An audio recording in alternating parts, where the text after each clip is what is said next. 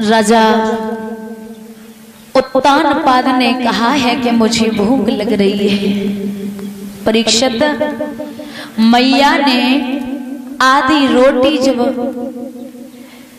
जो जौ की रखी थी, वो नमक रख के राजा उत्तान पाद को दी। याद रखना, राजा उत्तान पाद ने जब पहला टुकड़ा मुँह में रखा है तो वो निवाला गले से नीचे नहीं उतरा।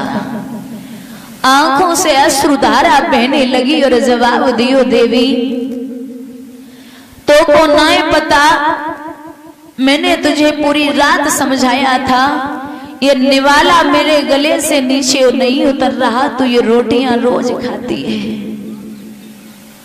मैया ने फटी वही साड़ी से आँसू पहुँचे महाराज रोइए मत। ये समय का खेल है। लिखा है।